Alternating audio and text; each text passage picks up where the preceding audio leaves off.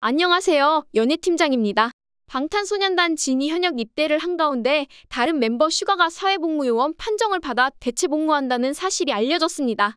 슈가는 BTS 멤버 중 유일하게 사회복무요원으로 배정된 것으로 알려졌습니다. 입소 시기는 알려지지 않았습니다. 군 당국은 사회복무요원으로 판정받아도 현역을 희망한다면 현역병으로 갈 수 있다면서 본인이 판단할 것이라고 밝혔습니다.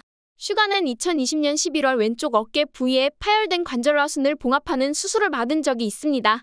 이에 대해 방탄소년단에서도 유명한 골프를 좋아하는 멤버가 슈가인데 어떻게 사회복무를 하게 됐느냐? 그 어깨로 춤은 어떻게 추느냐 등의 부정적인 반응도 나오고 있습니다.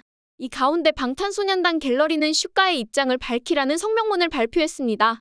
방탄소년단 갤러리는 팬들은 병무청이 법과 원칙에 따라 슈가의 입영 절차를 밟을 것이라 믿어 의심치 않는 만큼 슈가도 대한민국의 자랑스러운 청년으로서 병역의 의무를 성실히 이행해 줄 것을 당부한다고 올렸습니다.